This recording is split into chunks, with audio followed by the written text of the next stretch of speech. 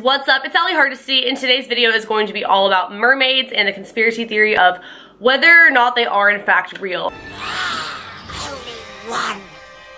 I think my stance is going to be pretty clear on this by the end of the video because I have so much that I like really, really believe in that is kind of like evidence. Obviously, this being a conspiracy theory, there is no proof proof that this is in fact real. There are just some pretty convincing arguments and things that don't really make sense and don't necessarily prove that they're not real. So wait till the end of the video before you make your decision and decide whether or not you think they're real. I think they're real. You don't have to agree with me, but here's my video providing some evidence and some things that kind of make you question the existence of mermaids. For starters, mermaids have been around for quite some time. Back in the prehistoric era, they were drawn on caves, so this was way back before they had the Little Mermaid movie or any of that stuff, so it kind of makes you wonder why this was a thing way back then. And that brings me to the concept of evolution, or as I should say, the aquatic ape theory. This basically says that we evolved into or from underwater, like as a species. Because if you really look at it, our hands, they're kind of webbed, some people more than others right here.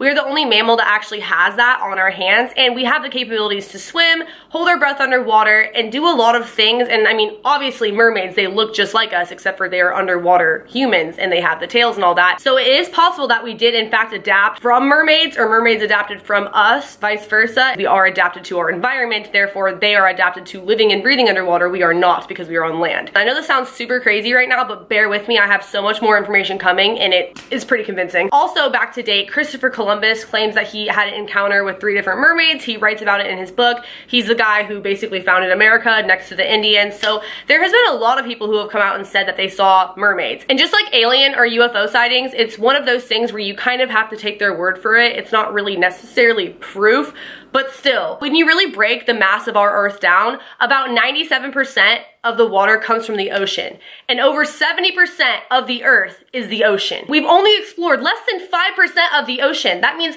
over 95% of 70% of the earth we don't know about. It's undiscovered. So who's going to sit here and say that it's not a possibility that mermaids exist? We don't know what's down there. We don't know how deep it goes. We don't know what lives underneath there. There's a lot that we just don't know about and we don't know if we'll really ever be able to dig that deep or maybe the government already has and they know more than we do and that's why mermaids don't exist but they really do and they know things that they're not letting us know about. Now this is the part that's always been the most convincing to me and that I've never heard anyone really talk about in a YouTube video. I haven't seen many YouTube videos on mermaids but the ones I have never really dive into this part. Dolphins they do so well with us as people. They are so equipped to being around humans. You can go to SeaWorld, you can swim with them, they're very friendly towards us naturally.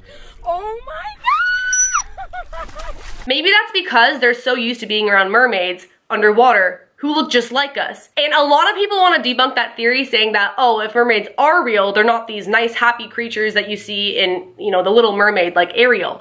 I'm not saying that at all. In fact, I would definitely have to agree with the fact that they're probably not the most friendly, nice underwater creatures, but I think that is towards us because we are constantly disturbing their natural habitat, which is the ocean. We're doing Navy sonar testing in their habitat, in their home, and that has killed so many underwater mammals.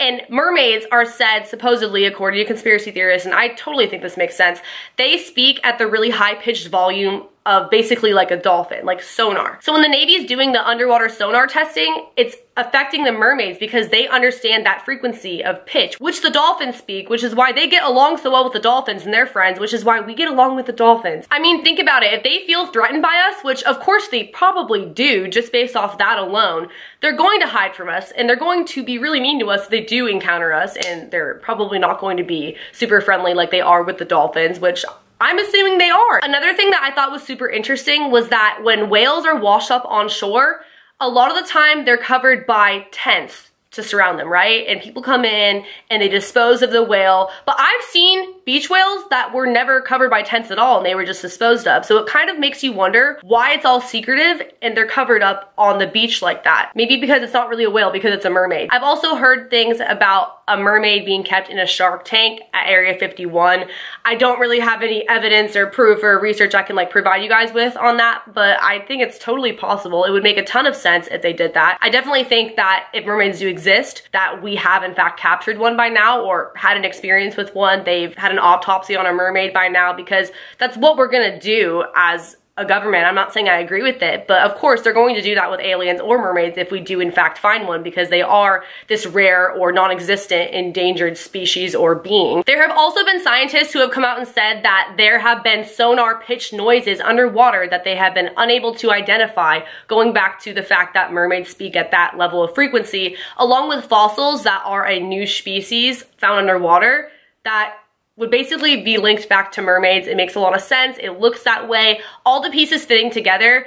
I think that I definitely believe in mermaids 100% and you don't have to, but this is just the evidence I kind of gathered for you all and it kind of makes you question a lot considering that much of our earth we don't know about. If you guys like this video, be sure to give it a big thumbs up. Leave a comment below letting me know if you want more on these kind of topics and just conspiracy theories in general because I love telling them. Subscribe to my channel for more videos and turn on my post notifications by hitting the bell button right next to the subscription box. Follow my social media. Also, I have a Patreon. If you guys want to check that out, you will get exclusive photo shoots that I do not post to Instagram and videos that are not on YouTube or I will post on there ahead of time and a lot of other fun perks. I also have a private Snapchat you guys can check out on my Patreon. And I will see you guys in the next video.